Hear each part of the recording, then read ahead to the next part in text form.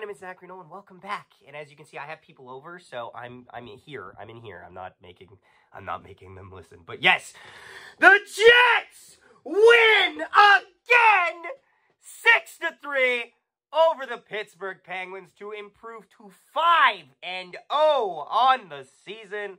Great stuff. Great stuff. Great stuff. Honestly, this game was it mainly made for Bryan Little. So that, but going into this game, there's a lot of stuff that happened other than just getting to watch people interview Bryan Little. What changed? Rasmus Kupari is out. The Gus Bus is in. Logan Stanley's off the IR and in.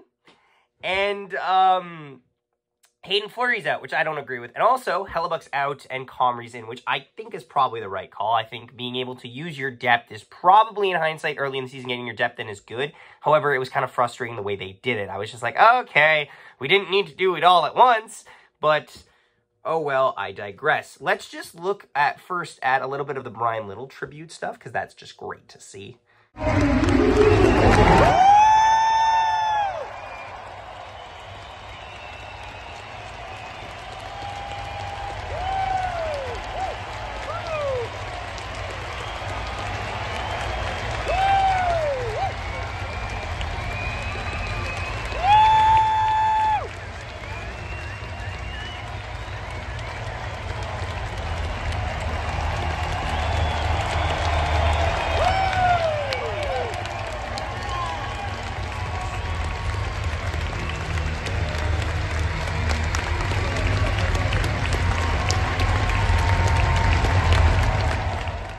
Talked about in the first video when it was announced, when I announced it as a transaction, because technically it is. Um, Bryan Little is an immensely important person in the history of the Winnipeg Jets, and shall pro will probably get his jersey retired at some point. He was literally the first main person the Winnipeg Jets had with Dustin Byfuglien. He was the guy. Uh, up front, he was amazing on the ice and off the ice. Got the first hat trick in 2.0 history all that stuff. He was just a leader, and he was amazing at it. Um, let's go into the first period. Not a lot ha- I actually not a lot to say nothing happens in this first period is deceiving because no goals are scored. However, I'd say the first period is a good period by the Winnipeg Jets. And in another game, another season perhaps, this is a game where the Jets would show that because they weren't able to get the lead in the first period, they would eventually lose this game because the next other two periods weren't great. That kind of looked like it was going to happen going into the second period because the first period was so good, but the results just weren't there. Jets had immense opportunities. Uh, going up against uh, Alex Nedeljkovic, who just got the call up because Tristan Jarry has been struggling. Also, Rutger McGroarty wasn't there, and the crowd let him know.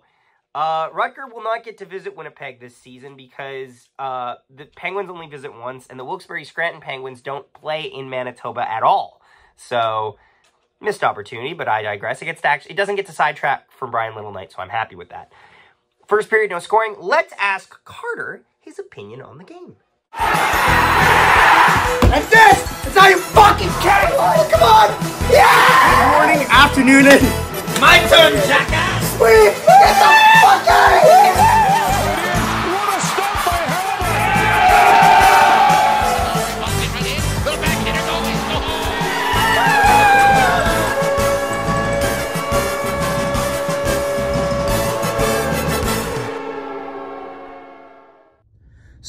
Jets win six to three on Bryan Little night, boys. How we feeling? How good. we feeling? We're doing pretty good. I'm not gonna lie. This is I, I was very happy about the the where is Rutger chance. That was a lot of fun. Um, yeah, there were some soccer fans in that corner there. I swear. Yeah, no, they were they were going at it like the whole like at least third period. But overall, good game for the Jets. Uh, was nice seeing uh, Namestnikov on I believe his uh, 300 Jets game or something like that. I can't remember 300 exactly. points. I or 300 points. That's what it was. Yeah, 300 points. Uh, grabs himself a goal there. Uh, and then overall, it was nice to see Bryan Little uh, on the ice, being able to kind of skate around for uh, for the for a bit at the start. Exactly, and yeah. so all in all, uh, glad that the Jets now go to five and zero. Oh. Uh, only team left in the National Hockey League that is still undefeated, and let's see how long that lasts. So back to Zach. Good stuff. Good stuff. Boy was happy. Boy got to see the game, which was great for him. Honestly, I saw the Sharks game, so he saw this one. He's also doing well. You should check out his uh, his uh, Blue Bombers content and his football content. So, we go to the second period, and after having a great first period, the Jets have a bad first half of the second period. They are getting dog walked in their own zone by the Pittsburgh Penguins. The fact that the Penguins don't have a, a the Penguins don't have depth, they have experience. That's that's how I describe the Pittsburgh Penguins.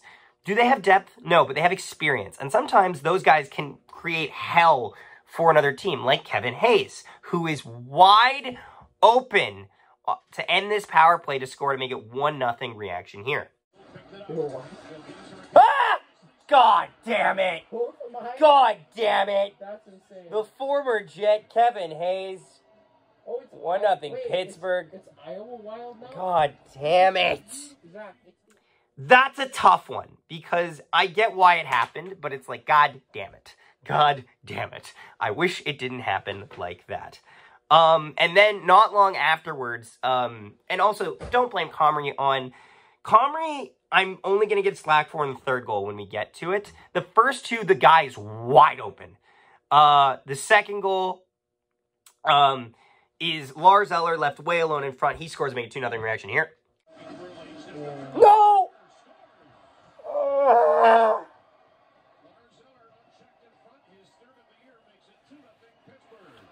Oh, brother, it's happening again. How do you leave him that far open, honestly? Now, fortunately, the Jets start turning things around. On a delayed penalty, a feed over to Kyle Connor, and he snipes it short side on Nedeljkovic to make it a 2-1 game reaction here. How are you going to score? Nobody's near the net. Oh, yes! Holy fucking shit! Woo! Now, I'm going to be honest, Santino. I think this is 100% offside, and this goal is coming back. But oh, we get a power play. we get a power play. Yeah, yeah, yeah, yeah. Random blonde woman. And then keeping the momentum going, Mark Scheifele on a shot that gets kind of bounces around. It's kind of similar to the Eller goal in the sense that the puck just bounces around the crease area and a guy picks up the rebound. Eller, uh, Scheifele will score to make it 2-2 reaction here. Over, over, get to the net, people! Yeah! Woo! Let's go! Hey! Yes! Yes! Yes! Let's go! And then on four on four play, Nikolai Ehlers finds a soft zone of the ice and feeds it over to Vladislav Namestnikov, who takes a 3-2 lead with, with only with under a minute to play in the second period reaction. Here. Kept it on. Keep going. Relax.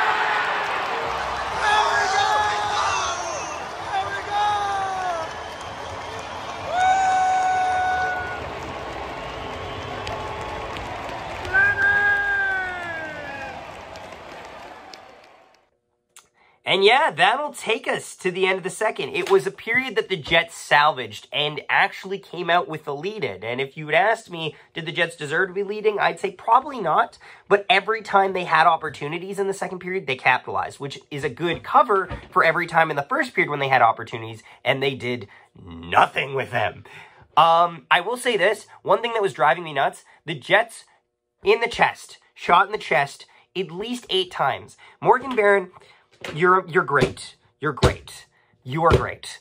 But if you if I need you to aim better. Remember that goal he scored against against Buffalo last year and I was like, "Oh my god, I didn't know he had it in him." Yeah, because Morgan Barron is great at generating opportunities, but he's bad at finishing them. And it drives me a little bit nuts. I'm not going to go on a huge tangent here, but he's got to pick a corner sometimes. So, end of the second period, what time is it? Moose Watch!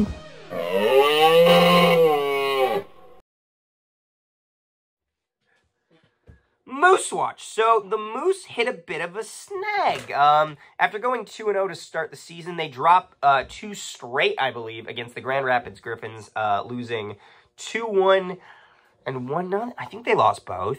I know they've lost one at least. Uh, however, Tyson Empey does get his first goal in the Antlers uh, for the Moose.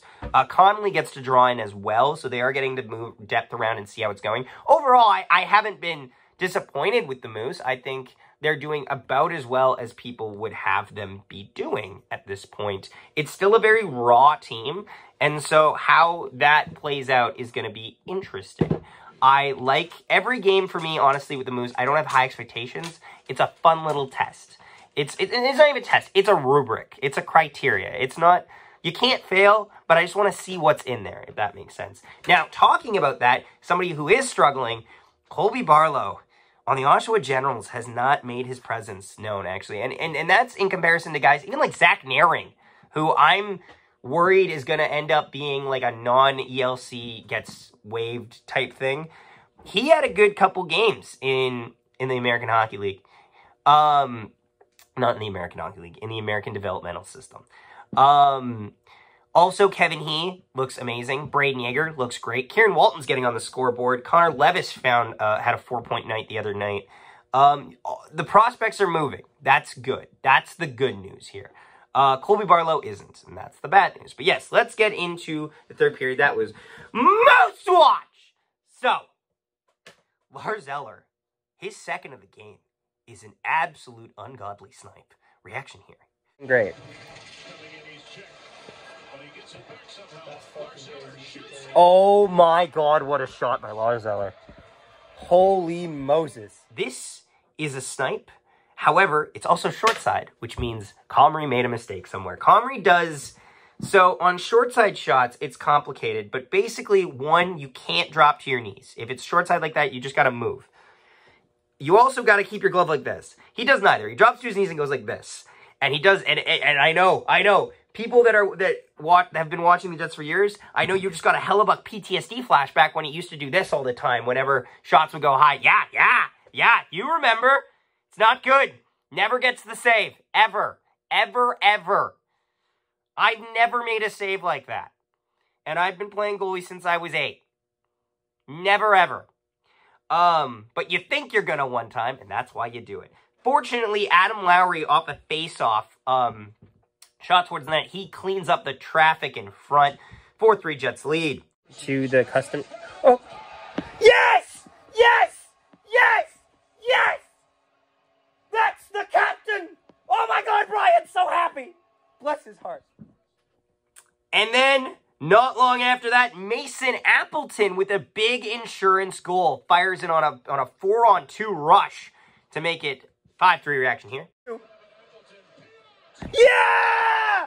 Woo! Let's go!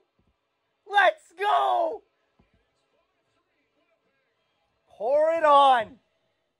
And then keeping it going, the Jets will end up getting the empty netter with Nino Niederreiter. He will make it 6-3 reaction here.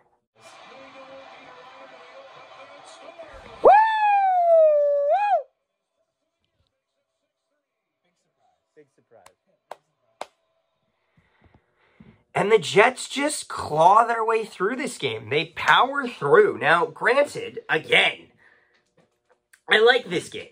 Uh, I, I think that it was important that the Jets were able to show that they could overcome adversity. However, let's look at the let's look at all the teams the Jets have played against. Who is probably the biggest competitor out of the out of the five?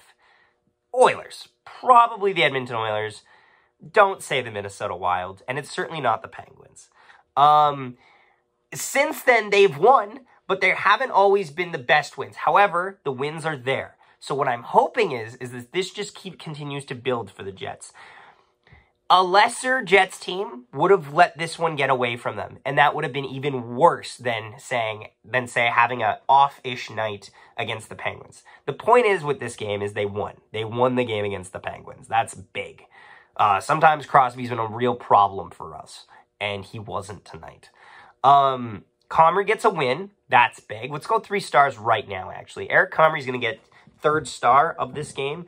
Uh, honorable mention is going to go to Adam Lowry on the go-ahead goal. Uh, second star of the game is going to go to Nikolai Ehlers.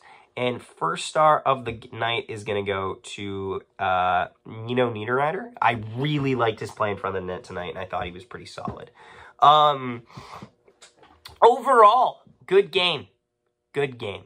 We'll take it. We got, it's, I don't want to get too excited because this team has tempered my expectations over the last five years. But um, this is really good. This is really good, and the Jets are the only undefeated team in the National Hockey League currently, and they're hoping to continue that. And oh my goodness, who do the Winnipeg Jets play next? Let us check this. No, I'm not hitting Wordle. The Winnipeg Jets' next game is going to be Tuesday night, October 22nd, against the St. Louis Blues. I'll be at a concert that night, so it'll be a little late. It is in St. Louis as well, so there's that.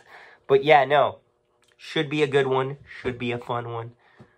Have a wonderful day, everybody. I know it's really early because it's a goddamn matinee game because they're playing on Sunday. We'll see you ne back next time. Uh, thank you so much for watching. Leave a like on the video. Subscribe. Comment down below. And we'll see you next time. We're trying to hit 1,900 subscribers. We are nine away. Help us out. Thanks so much for watching. One, Nikolai Ehlers chips it through, gets around, and he shoots and scores!